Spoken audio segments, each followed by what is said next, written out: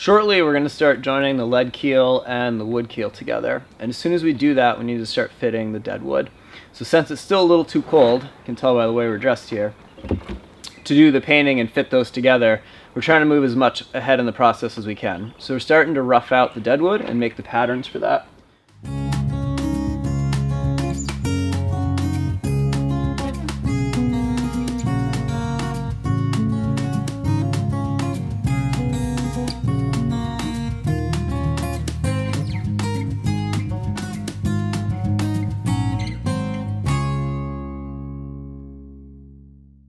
In preparation for doing the keel assembly, uh, I'm going to take all of these big timbers that we originally thought we were going to use for the bow and stern posts and cut out all the checks and the defects and get ready to glue them back together uh, into two big beams that'll become the deadwood for Arabella. So one piece of deadwood will go in front of the ballast keel and the other piece will go in the back of it and basically forms the keel underneath the boat and gives it its shape. When the plans were originally drawn, they were drawn with an iron keel. You can see the outline of that here. And that goes over pretty much the whole bottom of the boat. And then, since lead is so much denser, the lead keel is represented by these blue lines here. So what we need to do is fill out fore of that and aft of that with deadwood. And you can see that's that's quite a bit of timber. So it's about 14 inches wide up here, 10 inches wide down here, and tapers back to about 6 inches where it meets the stern. And same thing in the bow. It's a little narrower and then goes to 6 inches. So what we're going to do is cut up those timbers and jigsaw these together. The giant wood keel here is the main structural timber of the boat. So this deadwood, it does add some strength, and we don't want it to be, you know, a weak or a flimsy thing. But it gets through bolted up to this wood keel. So by the time we put a couple fillets of five, six inch thick timber and glue that together and bolt that together, that'll be plenty strong for what we need it to do. And if for some reason down the road one of those glue lines were to fail and some water were to get in there and this were to rot, there will be bedding compound and paint that goes between the deadwood and the wood keel. So worst case scenario, we could haul the boat, replace the aft of the fore piece of deadwood. And although a project and although a pain in the butt, it wouldn't be a catastrophic thing to have to do. So these timbers, we originally thought we were going to use them for the bow and the stern posts, but like I said, they checked pretty badly. Um, so this way we can cut around those checks and we can still use them. So before I can throw it up on the bandsaw and cut it, I need to get it down to a more manageable size, which is what I'm going to do today with the skill saw or with the big Sasquatch. And then once they're down to a size that I can lift and move, I'll put them on the bandsaw. And the goal today is just to get a bunch of square pieces set off to the side. And then once we get back from the boat show this weekend, hopefully the weather will be good enough and we can get to putting these keels together and then when it comes time to need the deadwood we can start planing them and thicknessing them and gluing them together and it also needs to get warmer for us to glue so trying to chisel away it as much as we can and be as prepared as we can for when the warm weather comes.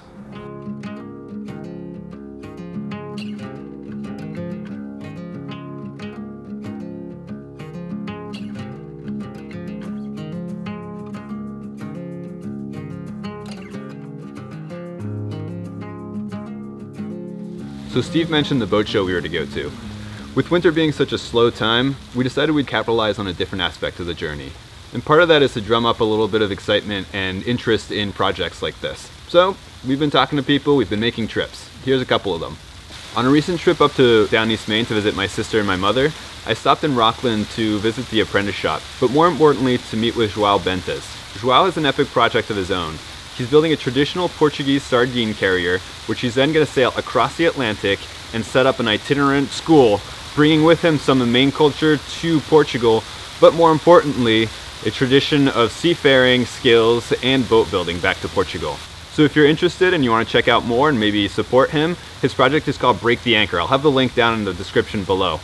On a separate trip, Steve and I headed out east to New Bedford to talk to Captain Bob Glover and Bob Dollar at R&W Ropes about Arabella's rig. And yeah, it's a little bit early for us to be talking about the rig, we know that, but the more we can figure out ahead of time, the better it will be. Also, they asked us to head out there, so we looked them up, we saw that R&W had a great reputation and had a great amount of knowledge, so we couldn't pass up the opportunity to talk to them. After a fun and informative meeting, we headed up to Gloucester. We actually got an email from Nathan Burgess, who heads up the Massachusetts chapter of the Traditional Small Craft Association, and he actually asked us to speak to their group. So we got there early thinking we'd do a little sightseeing. Unfortunately, we were a little early in the season, so most things were closed. But we were speaking at the Maritime Gloucester Heritage Center, so we got a tour in there and got to meet a couple of its aquatic residents. After that, we decided we were going to try and go meet um, Harold Burnham at his workshop, but he was out of town. So we ended up just uh, walking around the museum there, which was also closed, and getting a little bit of inspiration from the remains of the Evelina M. Goulart. That evening, we had a great talk with Nathan and the rest of the group about how we got started on that crazy journey. We actually got our first video question coming from somebody you all may know, and so we'll adapt some of that talk for that answer soon, so keep an eye out for that video. Finally, we were invited to speak and to table at the Maine Boat Builder Show up in Portland, Maine, so we spent the weekend up there a couple weeks ago um, and had a great time meeting people. The show is really interested in getting the younger generations involved in maritime activities again, which is really going to be important if we want to keep this stuff alive. All weekend we got to talk to some amazing people, some vendors, some programs, um, some of our viewers. It was just overall a great weekend, and we capped off the entire show with our talk. So thank you to Portland Yacht Services for inviting us, and more importantly to Stephen and Mary for putting us up for the weekend. Now let's get back to some boat work. So first of all, before we could get this shape, we needed to pick up patterns. And this is where the lofting floor comes in. And it's really hard to take the camera and show the little lines on the lofting floor. They just don't show up. But you can imagine this picture is drawn out basically full size on the floor and I take and put nails all the way around the piece that I want to take the pattern of. And then I flop a piece of plywood or a piece of lumber onto it, walk all over it, and when I get up, the nail heads imprint into that piece of wood. And then you can take the nails, sand them vertically, spring a bat and connect the dots, and you have something that looks remarkably like the drawing that's on the floor. If you're interested more in depth about the printing process and how we pick up patterns from the lofting floor, you can check out this earlier video and that'll show you in depth of how we go and we do all that process. Uh, it's something that we repeat over and over and over again through the boat building, so we don't want to be uh, you know, harping on it too much. But if you're looking for more info or you missed that video, check it out. So we did that earlier and we have the patterns for the deadwood fore and aft of the ballast keel. Now that we know what part of the boat we're working on making and we know where these patterns came from, let's go take a look at the patterns. These are the patterns that I pulled up off the lofting floor and we will use as we shape and design the deadwood. So this is the pattern for fore of the ballast keel and this is the pattern for after the ballast keel. The ballast keel will fit into these two jogs on either end. And this is going to end up coming out of a really big timber. Um, the top of this ends up being about a foot wide and it tapers down to about six inches at the bottom edge and you know you can see it's fairly deep. And what we're going to end up doing is actually laminating that out of some thinner smaller pieces. Since this is the deadwood it's more or less just to fair in the boat in front of and after the ballast keel. Uh, it does add some strength but it's not a huge structural member. So we feel pretty confident about gluing it up out of some smaller pieces and bolting it on there. And then this is the aft pattern which you can see is even bigger this one's a bit more structural. The stern timber ends up coming into a basically a mortise in the end, and that is an actual structural piece of the boat. So this aft one's a little bit more of a concern, but we're still going to do the lamination because otherwise it would just be a massive, massive timber that we would have to cut this out of. When you're laminating a big timber like this, uh, one common vernacular is lifts, and basically that is each layer that gets glued up. Each layer would be a lift. So I drew in lifts on the other side of these so we could figure out how much timber we needed and what size. Um, so let's flip these over and we'll take a look at the lifts and how we're going to end up gluing these, manufacturing these beams. So here we have the other side of the pattern and I've drawn in one, two, three, four, five lifts which should give us the thickness that we need. I started that by drawing in a two and a half inch thick lift across the bottom, that is a worm shoe. So if you come a little bit closer, we can see kind of what that looks like and talk about what a worm shoe is. The first thing I did when I drew in the lifts was put in a two and a half inch thick worm shoe. And this is really important because the deadwood is on the bottom of the boat and that is one of the areas that is most likely to strike something. So if we did run aground, hit a rock or a reef or something, and we damage that paint on the bottom, these little crustaceans called shipworms will come into the wood if there's no paint to stop them, and they'll come into the timber and they'll burrow horizontally following the grain, and they can literally take a giant timber like this and just disintegrate it. It's amazing how much damage they can do. So the idea with the worm shoe is that it's sacrificial. So we'll put layers of paint and bedding compound between the rest of the deadwood and the worm shoe. We'll screw the worm shoe on with some bronze screws. And if we were to strike bottom and the worms were to get in here, in theory, the bedding compound and the anti-fouling paint would stop them hard at the line of the timber. And the worms, they could devastate all up and down the worm shoe um, but when we do a haul out and realize that that's damaged, it would be pretty easy to unscrew and replace that two inch thick timber on the bottom of the boat. And that's such a small timber that we could get a piece of hardwood pretty much anywhere in the world, slap it on there, and be good to go. It's completely sacrificial. So once I had that worm shoe figured out where that was going to land, then I just took the biggest timbers that we had to work with, which are about five and a half, five and three quarters, and figured we could plane them down to roughly five and a quarter and that would give us one layer another five and a quarter and that would give us almost the thickness that we need and those two glued and then through bolted together would give us a really strong aft deadwood uh, which is what we're going for here we have the fore deadwood and I did basically the same exact process as I did with the aft deadwood I fit in the two and a half inch thick worm shoe I plopped on a nice and thick five and a quarter timber and then put some two and a half inch lifts to make up the last bit of the difference. And the fore deadwood is not nearly as structural as the aft deadwood. So this one is even simpler and easier. Um, not super worried about strength, not super worried about anything other than keeping the worms out and making sure that we have a nice fair piece of wood that goes in front of the ballast keel. Um, so this one, as you can see, is way smaller than the aft deadwood and is a, a much easier one to put together.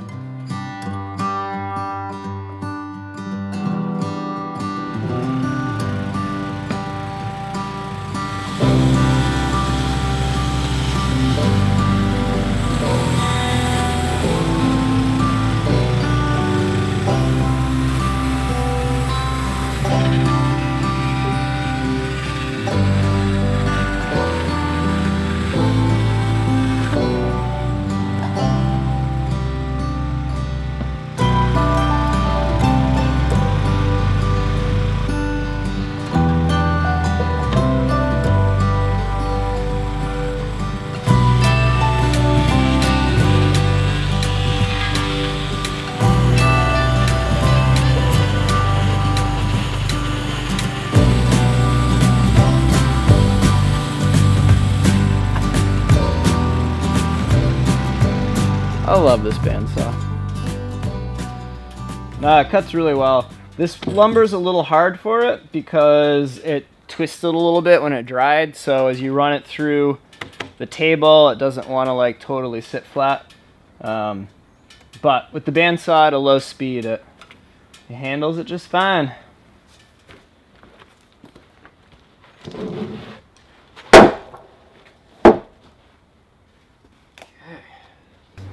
Here are the rough timbers that we're going to use for the deadwood fore and aft of the ballast keel.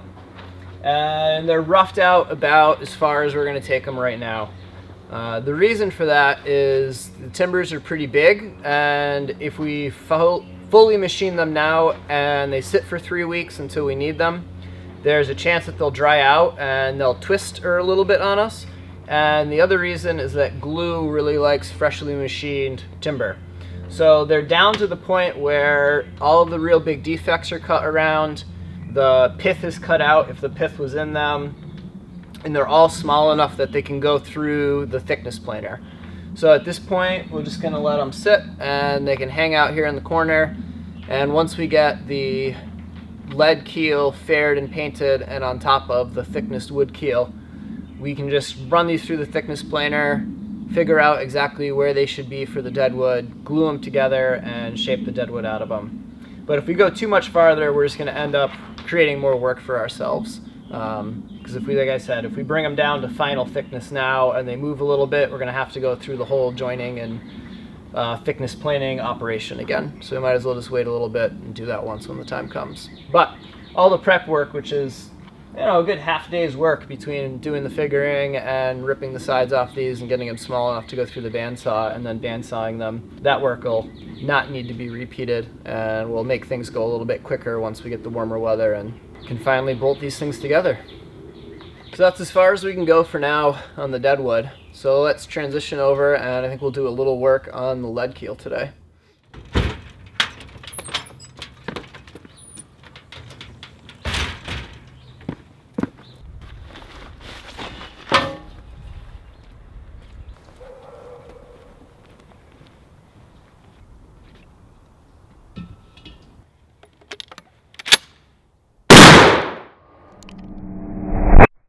Here's a riddle for you.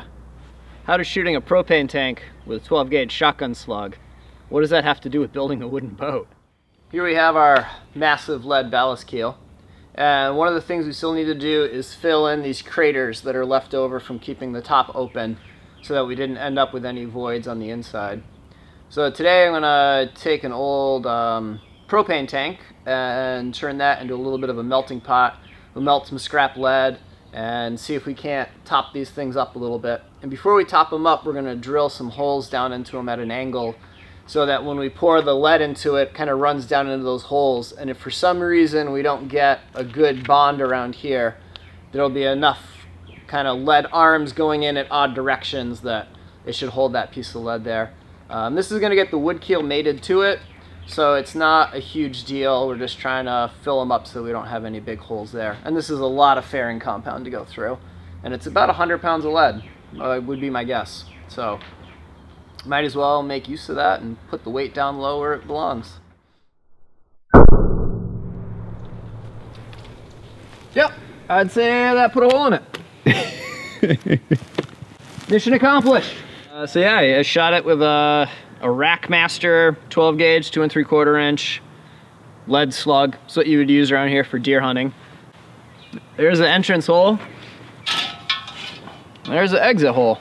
And the reason I did this is I want to use this propane tank, this old propane tank, um, for a melting pot for doing some lead work for topping up the ballast keel.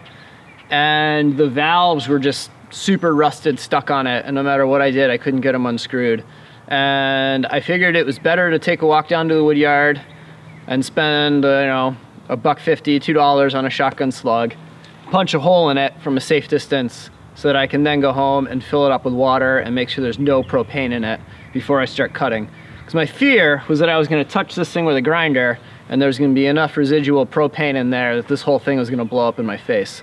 And I'd much rather it do that 30 yards downrange which it didn't do, but even just standing here, I can smell the propane off-gassing out of it. So we'll go home, we'll shove the garden hose in there, fill this thing up with water, clean it out really well, and then we'll cut it up and make it into a melting tank. Here is our recently shot and rinsed out propane tank. Uh, so we got a big old chunk of steel rod here, the grinder, the welding stuff. And the plan now is to cut just below where I shot it, open it up, make sure the inside seems solid, put the rod in there and figure out exactly how I want to uh, put handles on it so that Alix and I can pick it up and move it around and put it in the fire and pour it.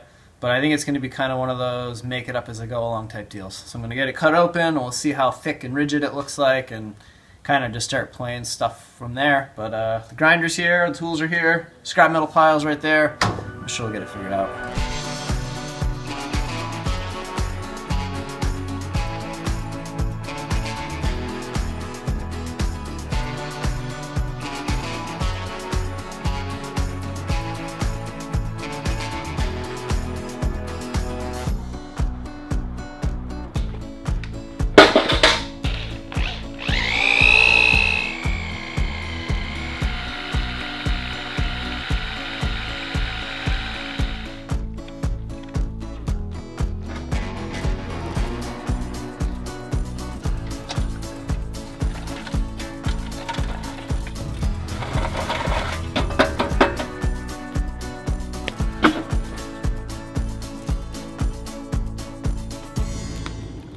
So we drilled the holes, melted some more lead, and filled in the major divots in the top of the ballast keel in anticipation for starting to mate the two keels together.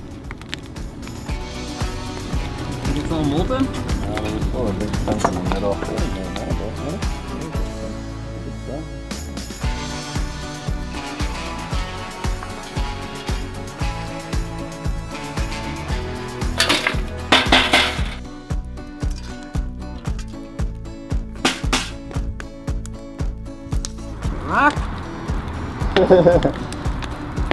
Made your lead covered Easter egg.